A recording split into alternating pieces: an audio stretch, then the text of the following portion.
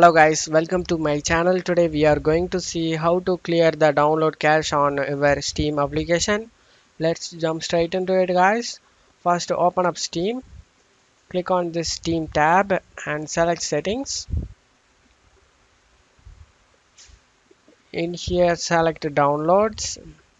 On right side select clear download cache Clearing the download cache might resolve issues downloading or starting apps. Click on clear cache.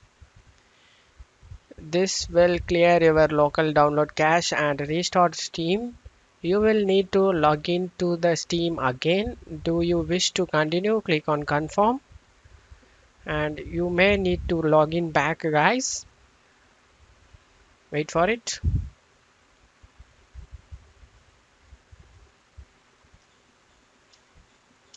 Click on the account you want to log in. I hope this video helped you guys. If the video helped you don't forget to leave a like guys. You can also subscribe me and support me guys. Thank you